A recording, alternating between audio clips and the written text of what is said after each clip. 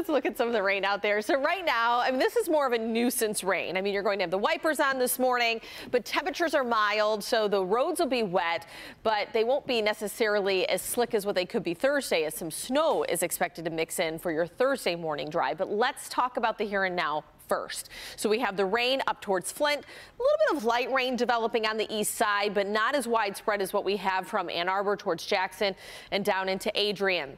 We will jump around town though, so I can give you more of that street level mapping or at least the city view. So that little sliver of Mount Clemens towards Utica dealing with that rain. You're going to be in and out of it if you're traveling along uh, M53. Roseville down towards Harper Woods, Grosse Pointe, a couple scattered light showers there. This is lifting north of Hamtramck. But if you're waking up in Southfield, Franklin Township, right now no rain coming down on radar, but that doesn't mean that you're in the clear. We'll have more rain pushing through throughout the morning morning. Waterford up towards Fenton dealing with some of those light showers. And then as you travel towards Washtenaw County, south of I-94, Ann Arbor, Saline, and then going down into Lenawee County for Adrian, areas by Tecumseh, Blissfield, getting some of the light rain showers right now. So you can see the movement is more of an east northeasterly movement. So we'll continue to have off and on rain chances. Right now we sit at 53 degrees at Metro, 50 in Howell, 51 in Pontiac, and Adrian's at 53. East southeasterly winds about 10 to 20 miles per hour. So about an hour from now, this is what radar should kind of look like. We'll have those scattered showers across the area and we're still hovering right around 50 degrees.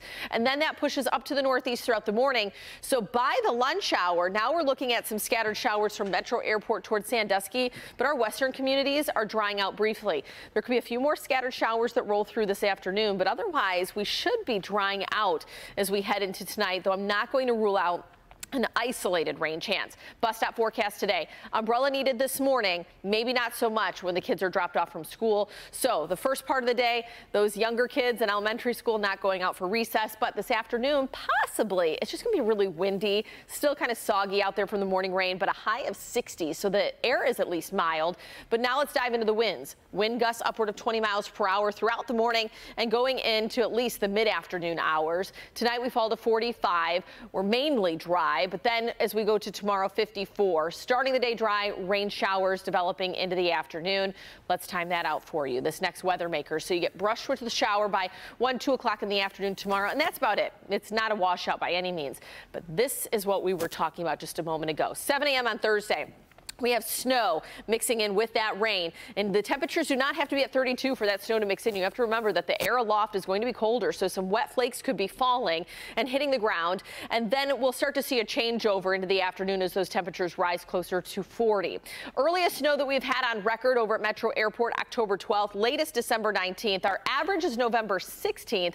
So we're pretty much on par with average when it comes to that snow falling. We'll be in the mid 40s this weekend, drying things out, and then we're still in the 40s going into early next week.